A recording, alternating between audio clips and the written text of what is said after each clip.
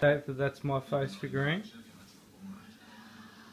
I put the head on there so you can see. You manipulate, I put a bit of Blu Tack on there so I could get him to do whatever I wanted him to do.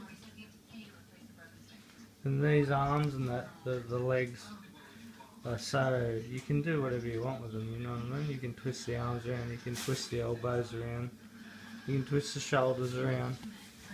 You can do whatever you want to make him do whatever you want. And so, it's really, really good actually, the way that they've done it.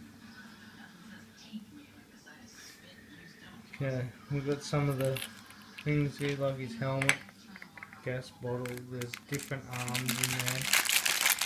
There's ones with gloves in there, there's guns. You can really kit him out the way that you want to kit him out. They give you super glue there too if you want to like have it permanent, but I just put Blu Tack in there. I like these the gloves. So I can put black gloves on him.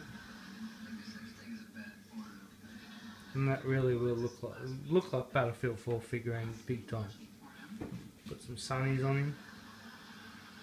Engineer.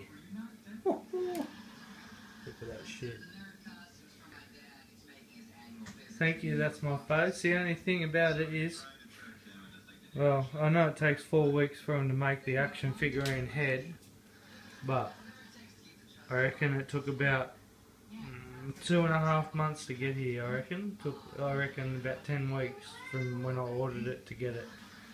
I tell you what, it's worth the wait. It's one of a kind. You, I reckon it'd be an awesome Christmas present for people, but. You wouldn't be able to get it. It'll be a couple of weeks after Christmas by the time it comes. But anyway,